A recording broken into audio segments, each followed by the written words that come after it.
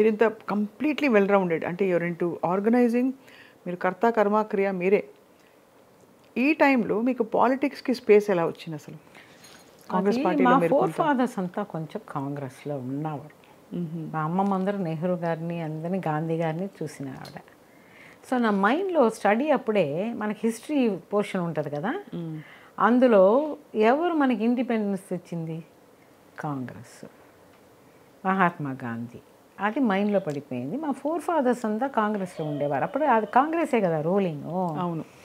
So ఇప్పుడు ఈ politics అని వచ్చినప్పుడు కాంగ్రెసే నా మైండ్లో ఉండేది. కొంతమంది అప్రోచ్ చేశారు ఇంత పెద్ద ఆర్టిస్టు ఆవిడ కొంచెం డిసిప్లిన్ మాట్లాడే ఇది ఉంది. సో షీ క్యాన్ రూల్ అనే ఒక దాంట్లో నన్ను మెల్లగా కాంగ్రెస్లో చేర్చాలని పెద్ద పెద్ద వాళ్ళంతా వచ్చి అడిగారు.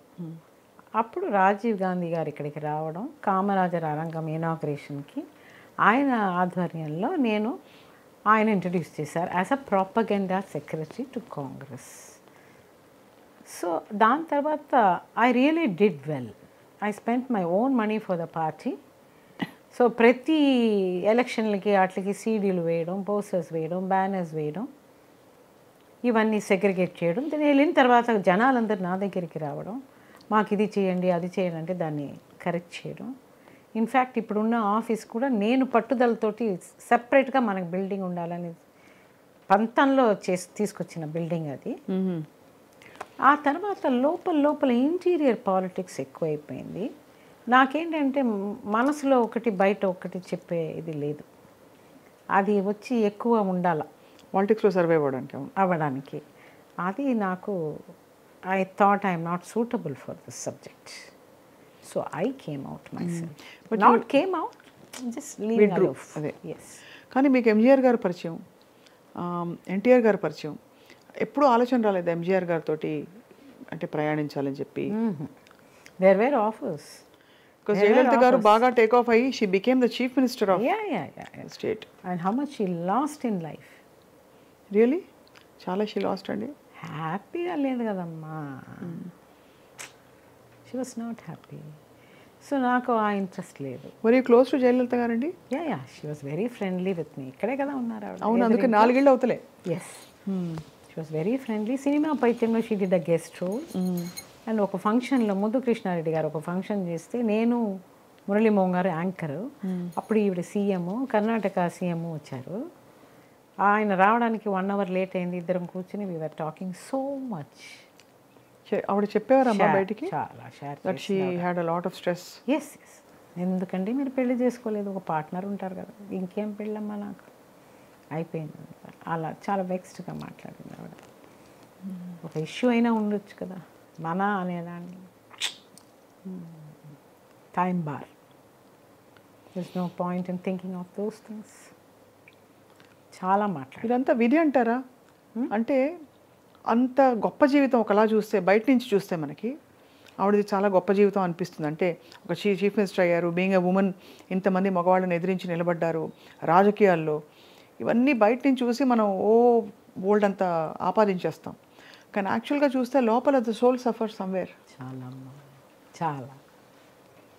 She a human being no she also needs something in life ఒక పట్టు కావాలి కదా.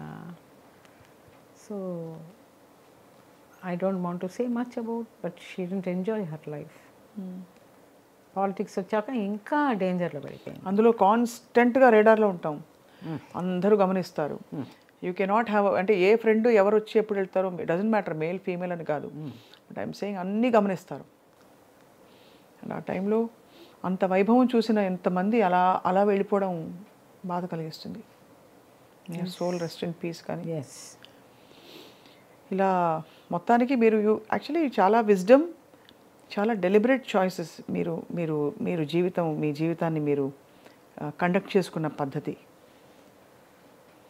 ఆ, అమ్మగారి మీ తల్లిదండ్రుల పెంపకం సంస్కారాలు అమ్మమ్మ గారి అండదండలు అన్నీ మీకు తోడుగా నిలిచాయి life long any regrets Jayachitra గారు? అయ్యో I wish I had that ఆ టైంలో అది నేను చేయాల్సింది చేయలేకపోయాను. అంటే కట్టుబాట్లు ఎంతైనా కొంచెం ట్రెడి- మీరు అమ్మగారి నటన ఉన్నా కూడా సినిమా ఇండస్ట్రీ ఆ రోజుల్లో కొద్దిగా జాగ్రత్తగానే ఉండేవారు. So you have to be extra careful in order to not be అంటే అన అనవసరంగా be commented on so in this flow we miss out so many things in life అని అనిపించిందా? నేను వచ్చి నేను ఎలా ఉంటున్నానో అలాగే మా వాళ్ళు ఉంటారు ఉండాలి అనే దానివల్ల నేను కొన్ని కట్టుబాట్లు వేసుకున్నాను. సో ఆ కట్టుబాట్లు ఉండే వల్ల నేనేదో పెద్దగా మిస్ అయ్యాననే ఫీలింగ్ నాకు లేదు. నా బాధ్యతలు అన్నీ ఒక్కొక్కటిగా నిర్వహించాను. అవును. I'm very much satisfied I did everything for everybody ఆ సాటిస్ఫాక్షన్ నాకు ఉంది. ఇంకా నాకు ఓపిక ఉంటే ఇంకా చెయ్యాలి అనేది. నా బాధ్యతలు నేను నెరవేర్చుకున్నాను. భగవంతుడు చేశాడు అంతే. భగవంతుడు నాకు చేశాడు.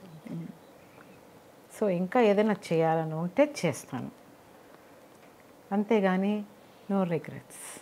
No regrets at all. మనం ప్యూర్గా ఉన్నాం అంతే.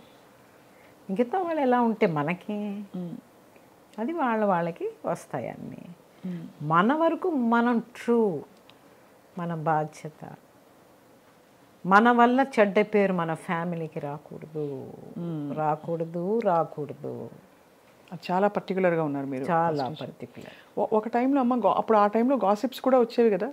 వచ్చేది బిగినింగ్ అయితే దాని గురించి నాకు తెలియదు కాబట్టి కొంచెం కోపం వచ్చేది. తర్వాత అలవాటు అలవాటు గాసిప్స్ అంటే మిమ్మల్ని లింకప్ చేయడం అవి ఇవి రకరకాలుగా మురళీమోహన్ గారితో లింకప్ చేశారు కదా. నేనే అడ్వాన్స్గా చెప్పేస్తున్నాను మీకు. So that is all false నేను అదే అంటాను అదే మీ చెల్లెలు కానీ మీ తల్లుల గురించి ఇలా రాస్తారా? ఎందుకు రాస్తారమ్మా అలా? అంటే ఎక్కువ సినిమాలు మీరు చేశారు కాబట్టి ఎక్కువ మీ మీ హిట్ కాంబినేషన్ చూసి. చూసి జలస్ పడి. సో అది ఆయన నమ్మలేదు నేను నమ్మలేదు. మా ఇంటోళ్ళు ఏది అడగలేదు వాళ్ళ ఇంటోళ్ళు ఏది అడగలేదు. కానీ బాధపడ్డారా? అయ్యో ఇలా రాస్తారేంటి అసలు మనకి? అతను ఒక ఊపు ఇచ్చేశాను కదా ఆ పత్రిక అతని. చెయ్యొచ్చారా నువ్వు ఇలాగా? పెద్ద ఆయన అతను వయసులో ఎంత పెద్ద ఆయన? నీ కూతురు ఇలాగ నువ్వు రాస్తావా గురించి? డెఫమేషన్ వేద్దాం అనే వరకు వెళ్ళిపోయాం. మేము ఎన్సీ రాఘవాచారి అంకుల్ వచ్చి చెప్పారు. తర్వాత ఆ- ఆ పత్రిక వాళ్ళు వచ్చి కాళ్ళలో పడి దండం పెట్టి వద్దమ్మా మా మానం పోద్ది అని చెప్పి ప్రాధేయపడిన తర్వాత నేను వదిలేను అనమాట did they do any addition అంటే దానికి కరెక్షన్ చేశారా? దగ్గర మరుపు మరుపు మళ్ళీ ఇలాగ ఇది ఫాల్స్.